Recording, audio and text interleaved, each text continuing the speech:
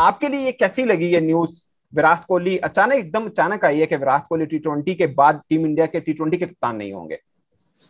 इसमें ना प्रिंसिपल्स और अगर आपको याद हो तो उनको एक मशरूब बनाने वाली कंपनी ने बहुत बड़ा कॉन्ट्रैक्ट ऑफ़र किया था तो उन्होंने महज ये कहकर रिफ्यूज कर दिया था कि जो चीज़ मैं खुद पीता नहीं हूँ मैं हम्म। उसका इश्तिहार भी नहीं करूँगा।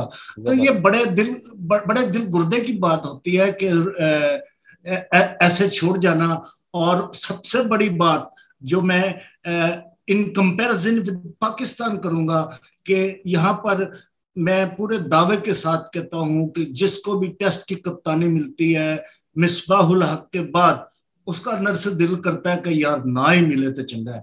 तो मगर उन्होंने ये दुनिया क्रिकेट को और खसूस पाकिस्तानी क्रिकेटर्स को विराट कोहली ने ये मैसेज दिया है हम्म। कि जो असल क्रिकेट है जो क्रिकेट का हुसन है वो टेस्ट क्रिकेट है टी हम्म। ट्वेंटी और वर्ल्ड कप नहीं है। जहाँ तक आपने आपने कंपैरिजन पे पेश किए बिलाशुबा रोहित शर्मा और सरफराज भी बहुत अच्छे कप्तान रहे। मगर रोहित शर्मा जो है वो कभी किसी कॉन्सिप्रेंसी में या किसी साजिश में इन्वॉल्व नहीं हुए हम्म। मगर पता नहीं पाकिस्तान में ये सिलसिला कब बंद होगा कि हमारे यहाँ कप्तानों को जब तक कॉलर से पकड़कर कोई साजिश करके ना हटाया जाए, ना कोई रिटायरमेंट का ऐलान करता है। और अभी बहुत सारे ऐसे लेजेंड प्लेयर्स हैं, जिनका अभी तक रेजिग्नेशन जो है वो ड्यू पड़ा है। मगर वो देने को तैयार नहीं है, हालाँकि वो अब ठीक तरीके से चल भी नहीं सकते।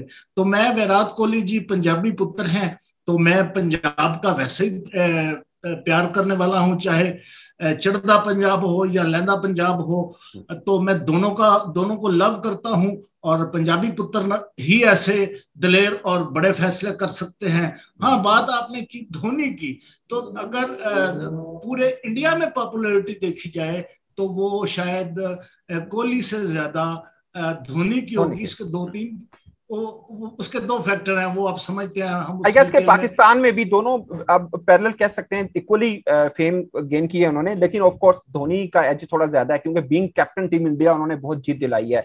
उन्होंने हर टाइटल जीता है। वो वो वो शायद अफरीदी की तरह मुख्तलिफ़ फन भी करते रहते हैं ना तो जिसकी वजह से वो खबरों में भी रहते हैं और बड़े यानी कि अपने मुल्क से लॉयलिटी का भी वो इजहार करते रहते हैं। और जैसे आपको पता है कि मैं टिम कीरी ज़रूर छोड़ा करता हूँ। मुझे पूरा यकीन है कि वो मुस्तकबिल में सियासतदान भी बनकर उभरेंगे और जो भी जमात उनको टिकट देगी यकीनन बीजेपी ही उनको टिकट देगी तो वो एम एम एल ए या एम एन ए भी ज़रूर बनेंगे। अच्छा sorry M L A MNA हमारे यहाँ पाकिस्तान में एमएनए होता है और एमपीए होता है तो उस कंपैरिजन में कह रहे हैं। ओके ठीक है। अब मैं थोड़ा सा कंपैरिजन कर रहा हूँ कप्तानी का Virat Kohli versus Rohit Sharma. One day T twenty में और टेस्ट में भी हम कर सकते हैं।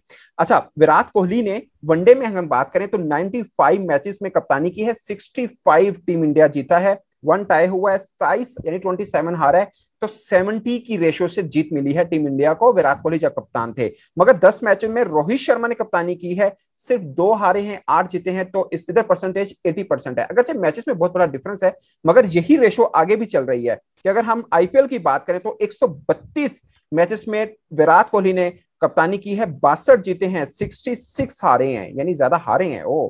48 परसेंट उनकी विनिंग रेशियो हालाँकि विराट कोहली की टीम बहुत तगड़ी होती है आईपीएल के अंदर। मगर इधर हम 123 मैच खेले हैं। रोहित शर्मा ने बतौर कप्तान 123 जिसमें से 74 जीते हैं 49 हारे हैं और 60 की रेशियो है। तो आप देख सकते हैं कि रोहित शर्मा की बीइंग कैप्टन जो जीत की रेशो है, वो विराट कोहली से बहुत बढ़कर है। तो आई गेस के टीम इंडिया जो इंडिया क्रिकेट को संभाल रहे हैं थिंक टैंक्स उन्होंने सोचा होगा कि अगर आईपीएल में और कोहली की एब्सेंस में वो अच्छी कप्तानी कर रहे हैं तो कोहली के साथ भी अच्छी कप्तानी करेंगे और फिर कोहली एज ए बैट्समैन जब मिलेगा तो कुछ बड़ा करेगा। आपको क्या लग रहा है उनका जानशीन के तौर पर हम कह सकते हैं कि Rohit Sharma is the best option Sana अगर आप क्रिकेट हिस्ट्री पर नज़र दौड़ाएँ तो जितने कप्तान गुजरे हैं वो कूल कस्टमर जो होते हैं वही कामयाब कप्तान होते हैं जो मुँह से कम बोलते हैं ग्राउंड में फनकारियाँ कम करते हैं जीत ज़्यादातर और सिर्फ़ वो अपने डिसीज़न से और टीम को मोटिवेशन और टीम को कोहेसिव टीम कोहेसिव टीम वो होती है जो मुसलसल जीतती है उसमें कोई इख्तलाफात नहीं आते और जब जब कोई टीमें आपस में इंतशार का शिकार होती हैं तो फिर वो कोहेसिव नहीं रहती। बिलाशुबा कोहली जी ने टीम को कोहेसिव भी रखा फतूहात से भी नवाजा। मगर वो ग्राउंड में कुछ ऐसे एक्ट कर जाते थे जो मैं जाती तौर पे समझता हूँ कि उनको सूट नहीं करते थे।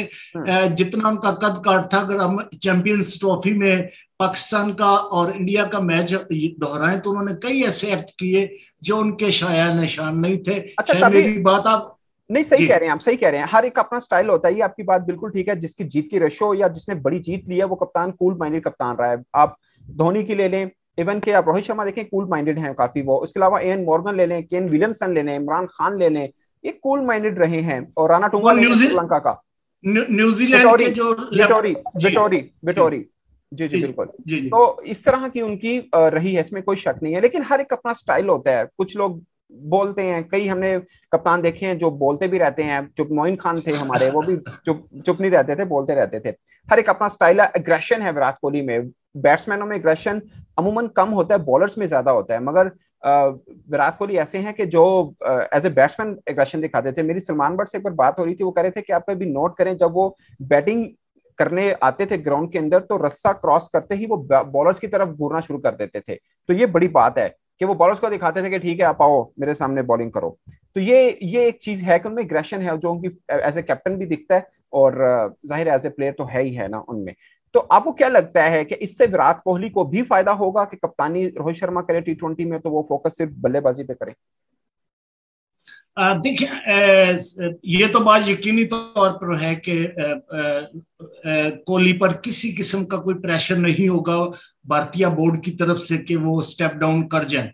उन्होंने उन्होंने खुद महसूस किया होगा कि अब मेरा टाइम जो है वो इनफ है मैंने जितना टाइम खेलना था वो खेल लिया वो गो वो, टी ट्वेंटी वर्ल्ड कप के बाद एज अ टीम मेंबर तो खेलते रहेंगे मगर मेरा नहीं ख्याल कि वो दो से तीन साल खेलेंगे इससे ज़्यादा नहीं खेलेंगे। और लीग्स वो खेलते रहेंगे। टेस्ट में, में मेरा जाती ख्याल है कि वो चार से पाँच साल मजीद भारतीय टीम को वो सर्व करेंगे। और बाकी अजान भी शुरू हो गई हैं। फैसला आपका है।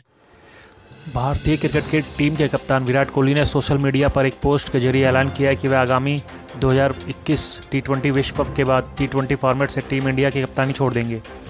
सोशल मीडिया पर शेयर किए पोस्ट में विराट कोहली ने कहा कि उन्होंने ये फैसला बहुत सोच समझ कर लिया है। उन्होंने कहा कि वर्कलोड का देखते हुए फैसला लिया गया है। कोहली ने कहा, मैंने टी फॉर्मेट में कप्तानी छोड़ने का फैसला अपने करीबी लोग, मुख्य कोच रवि शास्त्री और रोहित शर्मा से सलाह लेने के बाद लिया है।